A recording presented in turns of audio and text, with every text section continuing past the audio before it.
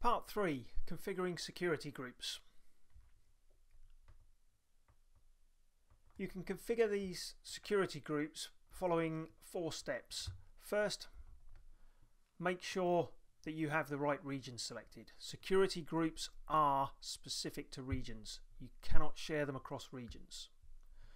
Second, click on security groups in your EC2 area dashboard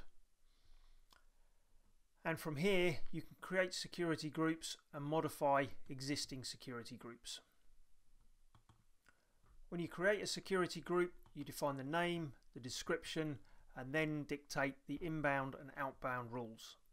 So for example when we add a rule we can say that we want inbound traffic from SSH which comes in as a TCP protocol on port 22 and we can even go as far as dictating the sources from which will allow that connection.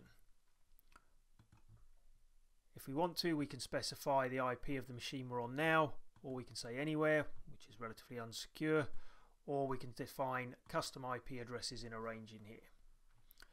As part of this course we'll need to set up two new security groups, one for Unix application under test machine and one for the Windows master machine. And you'll also notice that a default group is created automatically and this group will have a source ID that refers to the actual security group name. It's a circular reference if you like, but it just means that any instance in this security group can access any other instance in the same security group. So every machine within our virtual private cloud that has this security group linked to it can talk to any other instance in the same virtual private cloud.